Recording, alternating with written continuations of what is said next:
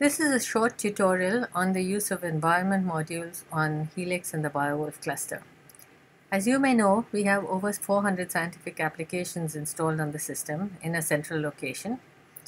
And most likely you want to run only a specific application or two and specific versions of those applications. How do you find out what applications are installed, what versions of those applications are installed, and how do you actually set up your environment to run those applications? All those things can be done with environment modules.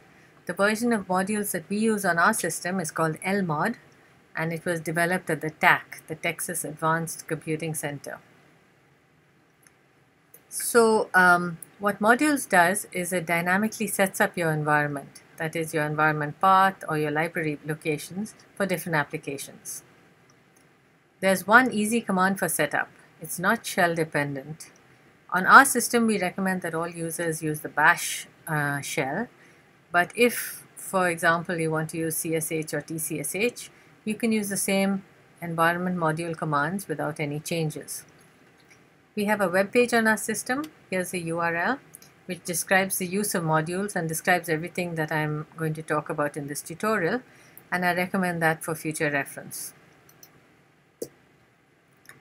So how do you find out what applications are installed on our system? That is what modules uh, exist and what versions of those modules exist. This is easier if I demonstrate it, so that's what I'm going to do. Here I am logged on to Biowulf with the username teacher and I type module avail, which is short for module available. In a couple of cases, uh, once in a while you might get this rebuilding cache mes message, but don't worry about it. It's just setting up the uh, list of default uh, modules for you. So what it does is lists every uh, application for which we have installed it centrally and written a module and every version of that application. So for example, we have the ANTS where there's only one version of that we have two versions of the Atlas libraries and so on and so forth. It's a pretty, it's a pretty long list.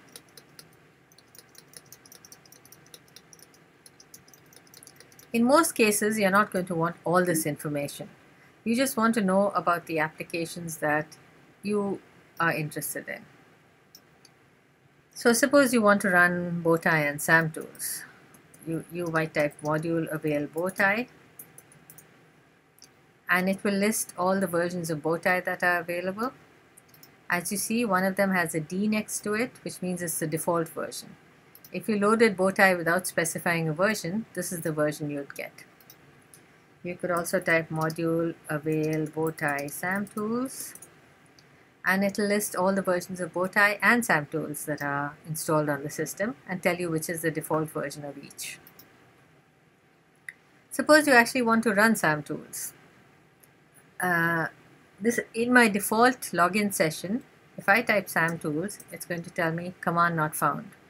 That's because SAMtools is installed on the system, but the location of SAMtools has not been added to my path.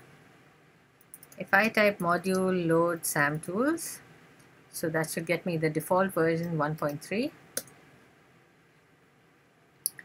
It loaded version uh, 1.3 and now if I type SAMtools to actually run SAMtools, you see it, uh, it found the application and it ran it successfully.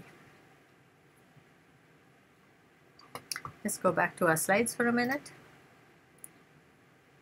So that shows you the module avail and module avail application name. In this case, I showed demonstrated module avail bowtie. Suppose you want to see what a module is doing.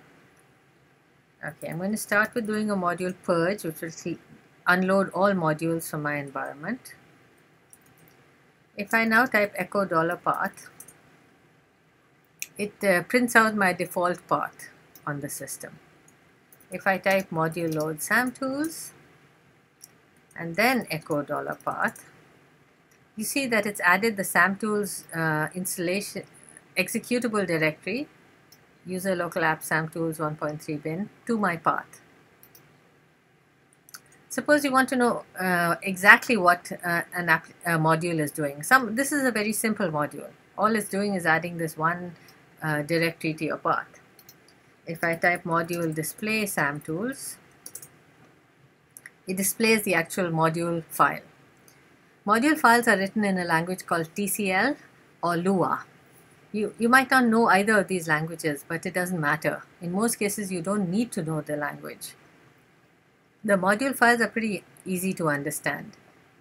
So I typed module display samtools and it displayed the samtools module in Lua. And it says prepend path, which means add this to my path at the beginning of my path and the environment variable is path and it's adding this directory user local samtools 1.3 bin to my path and you see that's exactly what happened here I did I looked at my path then I module did a module load samtools and then when I looked at my path again afterwards it had added that directory to my path uh, the samtools module is also uh, adding um, this directory to your man path so that if you typed man samtools, it would now work. So samtools is a simple module. If I type module display chime, a different application, you see it has a much more complicated module file. It's loading a lot of other applications, it's setting some environment variables, and it's adding a lot of different things to your path. Let's go back to our slides. So if I type module display, I did a module display samtools before. Let me do it again here for clarity. And If I do a module display SAM samtools 1.2, then you can see the difference between the module for version 1.3 and 1.2.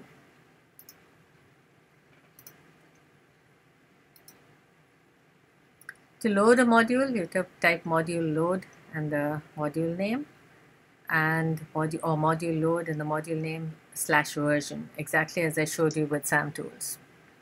Suppose you want to see what modules you have loaded. If I type module list, it will list all the modules I have currently loaded. In this case, it's samtools, one version 1.3.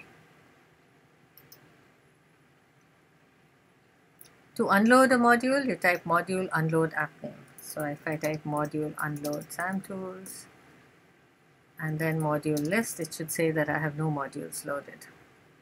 You can also type module purge, which will unload which will unload every module that you have loaded. You can create personal modules. Why would you want to do this? Well, suppose you install an application in your own space rather than uh, asking us to install it in the central space. You might want to set up a module for that application. You might also want to set up a, a module for uh, a group of applications that you use routinely. In this case, I have set up a directory called my modules and it has two module files in this, maprseq and ngs. If I cat this the NGS module you see it's very simple it just starts with the standard module uh, opening line and then it loads Bowtie 2.2.5 SamTools 0.1.18 and Top Hat 2.1.0 so suppose I, I, in this case I set up this module because I always want these particular versions of this application so if I type module load NGS is it going to work no, because it gave the error. It says it doesn't know about this module.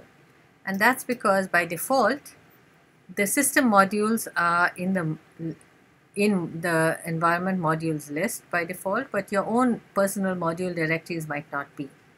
So you can add your own directory. I'm going to say use module use dash dash append and the directory that I have with my module files. So this is going to add um, at the end of the mod list this directory to my module files. If I now type module avail ngs, you see it printed out all the ngs related uh, modules in the system directory and then after that it printed out the ngs module that I showed you up here. Now if I type module load ngs, it loaded Bowtie, SamTools and Top Hat and if I type module list it shows me all the NGS module that I loaded and all the modules that were loaded within it.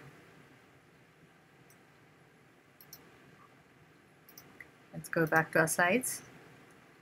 To see the default versions of any application, use module-d avail.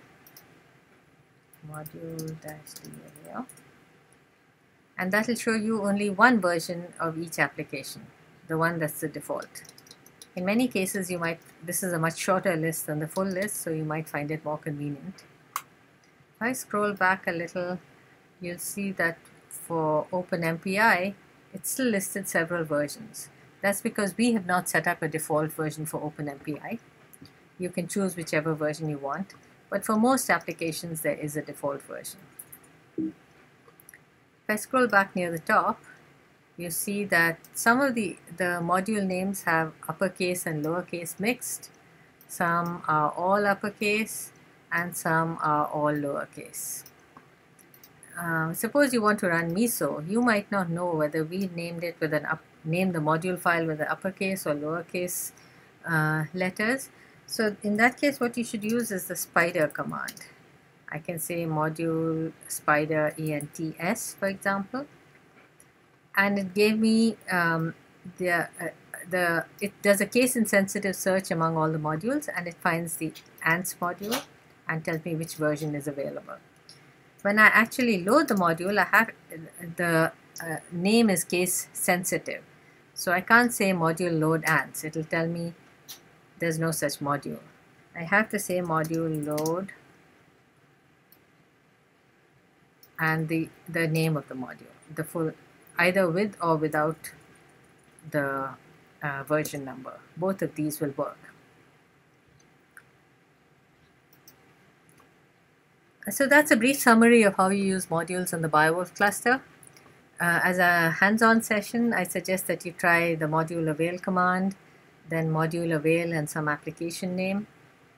Load a module, uh, look and see what modules you have listed, do an echo dollar path from time to time to see uh, how your path is changing when you load and unload these modules and do a module display of some module to show uh, to see exactly how the module is set up in Lua.